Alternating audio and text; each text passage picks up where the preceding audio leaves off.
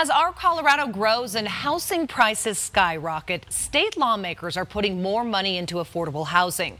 Two bills are expected to create $156 million in the next three years for affordable housing. Habitat for Humanity hopes to receive some of that money.